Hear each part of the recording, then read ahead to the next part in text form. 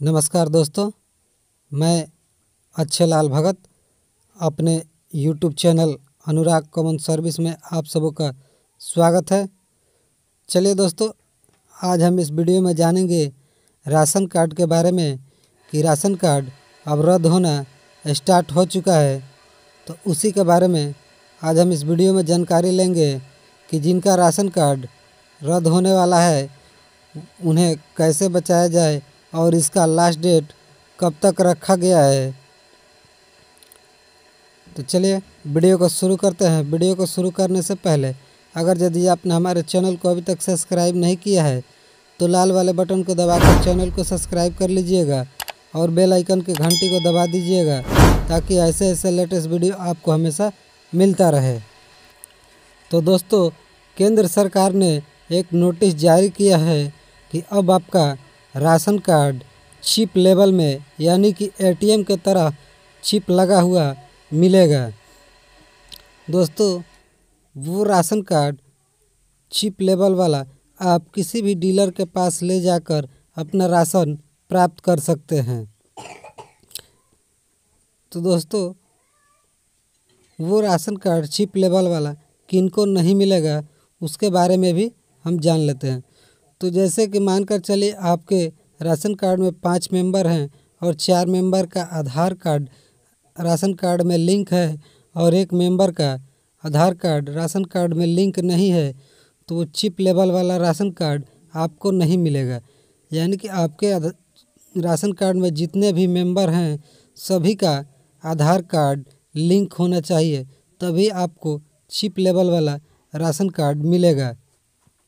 अब दोस्तों, जानकारी ले लेते हैं कि किनका राशन कार्ड रिजेक्ट होने वाला है और उन्हें कैसे बचाया जाए। तो देखिए दोस्तों, जिनका राशन कार्ड में आधार कार्ड लिंक नहीं है, उनका यहाँ पे नाम कटने वाला है। जैसे कि मानकर चलिए, आपके घर में तीन या चार मेंबर हैं और उसमें से दो मेंबर का आधार कार्ड लिंक है आपके राशन कार्ड में और एक मेंबर का नहीं है तो उनका राशन कार्ड यहाँ पे कट जाएगा। तो जिनका आधार कार्ड, राशन कार्ड में लिंक नहीं है, फिंगर नहीं लिया गया है, वो अपना आधार कार्ड लिंक करवा लें। ये आपके लिए बहुत ही अच्छा मौका है। इसका लास्ट डेट इकतीस मार्च तक रखा गया है। इकतीस मार्च से पहले आप अपने राशन कार्ड में अपना फिंगर लगवा के एक्टिव करवा लीजिए।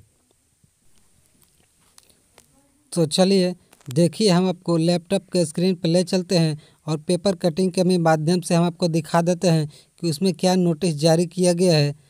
तो चलिए दोस्तों, अपने लैपटॉप के स्क्रीन पे आ गए हैं और यहाँ पे देखिए, राशन कार्ड धारकों को दिए जाएँगे स्मार्ट कार्ड।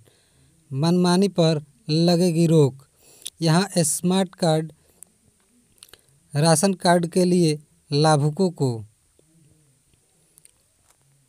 देखिए, उसके नीचे दिया गया है, सरकार की ओर से बार बार राशन कार्ड बनवाने का झंझट दूर करने के लिए स्मार्ट राशन कार्ड योजना पर जल्द अमल होगा। इसके तहत एक करोड़ इक्यासी लाख राशन कार्ड धारक परिवारों को स्मार्ट कार्ड दिए जाएँगे। यानी कि जैसे हमने आपको बताया कि एटीएम वाला, चिप लेवल वाला राशन कार्ड मिलेगा, यहाँ पे एक करोड़ इक्यासी लाख राशन कार्ड धारकों को यहाँ पे स्मार्ट कार्ड दिया जाएगा। अब इसका लास्ट डेट देखिए, कब रखा गया है? इसका लास्ट डेट है इकतीस मार्च तक राशन कार्ड में शामिल उन सदस्यों का, को आधार सीडिंग करवाने का आखिरी मौका। तो दोस्तों, जिनका राशन कार्ड में आधार सेंडिंग नहीं हुआ है, उनको इकतीस मार्च तक अपना राशन कार्ड में आधार सेंडिंग करवा लेना है। यहाँ पे एक करोड़ साठ लाख लोगों का अभी तक आधार सेंडिंग नहीं हुआ है। तो चलिए दोस्तों, इस वीडियो में बस इतना ही। आगे के लिए धन्यवाद।